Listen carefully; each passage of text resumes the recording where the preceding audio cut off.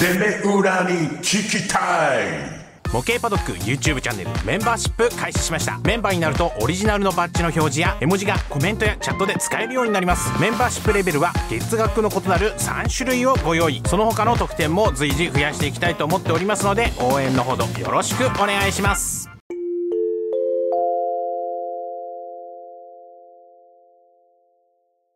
はい、デベロに聞きたいコーナーということで今日もビシッバシッと熱く語っていきたいと思います。なんか風がこう来てるからちょっと音ちゃんと取れてるかなわかんないけど専門家のデビさんよろしくお願いします。はい。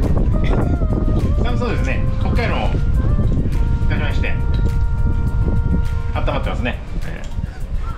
風はすごいね。ー今今ゴワーッと来てましたけどね。寒いね今日は。ちょっとマイクがちゃんと取れてるから風の音入っちゃってるような気がするけど。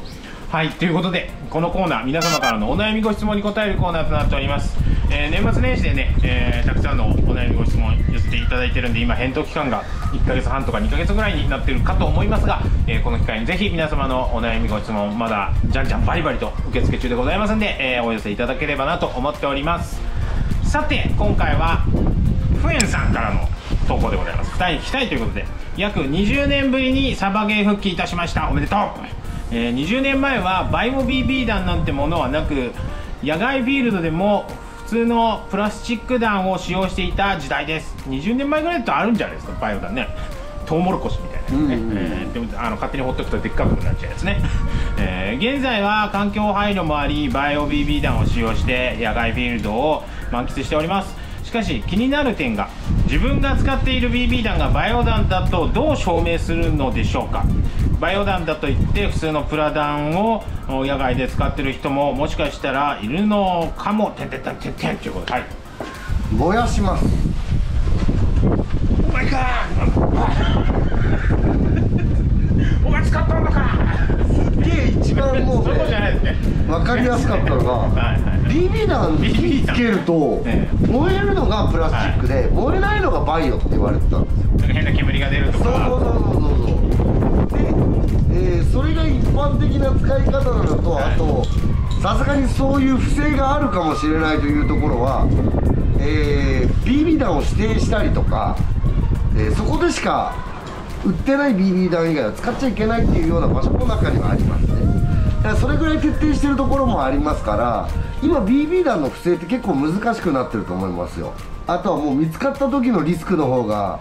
大きいんでね。罰金を本当にもらえますよって言いますからそれこそ清掃するか罰金払えっていうぐらい厳しいのとあと年を貸してくれる人がもう絶対バイオじゃないとうん貸さないよっていう人の方が圧倒的に多いのでバレちゃうとそのサバゲフィールドなくなっちゃう可能性があるので、えー、からサバゲーが嫌いな人で悪意があればやるかもしれないんですけどサバイバルゲーム自身をやっぱ続けたい人はそういうのをわざわざ破ってまでやるっていう人はそんないないのとあと価格が落ちましたよね。SP バイオ弾もそうですけども、えーヒットコールさんもそうですしバイオ弾の金額も、えープラスチック弾にだいぶ迫ってきたのかなとも思いますし、まあまあ差はありますけど前よりもねあの一発ね1円以上するような球をばらまいてるんだとかっていうのはなくなってきたのかなっていう気はしますね。うんうんうんうんって感じですかね。どうなんですかね。まあ僕らもね見た目でこうどっちだと言われても分かんない、分かんないですからね、まあ、燃やしたところでそれが全全部の種類でそれがね適用されてるのかどうかも分からないし、まあここまで言っちゃうとあれなんですけどメーカーさんだってね本当にその配合ですかっていう話ではありますからね、うん。まあ、それはお互いそれはあの嘘になっちゃいますからあのちゃんと守って作っていただいてると思いますけど。まあ、基本的に今は自分が知ってる限りまあ正直気づく時あるんですよ。あれこれバイオだっけなっていう時に、えーお声掛けさせてもらったことも何件かあります。でもその際に本当に何も知らない人が立ってえこれでサバゲーに使えますって言われましたっていうね、えー時があるんですよ。そうえこれはダメなんですかって言ってその人には罰金とかそういう話じゃなくてあごめんなさいこれ使えないんでここで売ってる BB 弾買ってくださいみたいなことを言ったことはありますけども気づき次第、えーそういうお話をさせてもらう感じですかね。あのもう。最近一応ねあのー、刑事法みたいなので、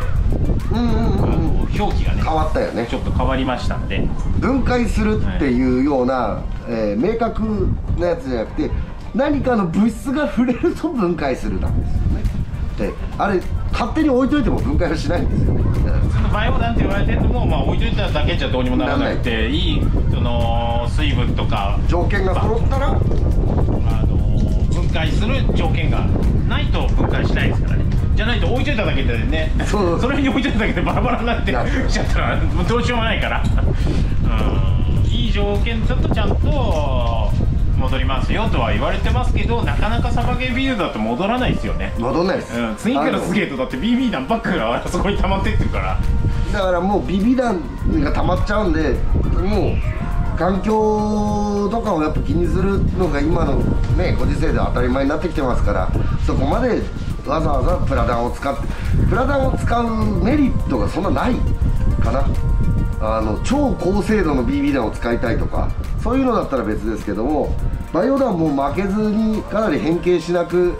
なってきたりとか、ね。管理の仕方とかも良くなりましたからね。前は価格の面が一番大きかったですけど、うん、大丈夫じゃないかなと思います。はい。ということで参考にしていただければと思います。ありがとうございます。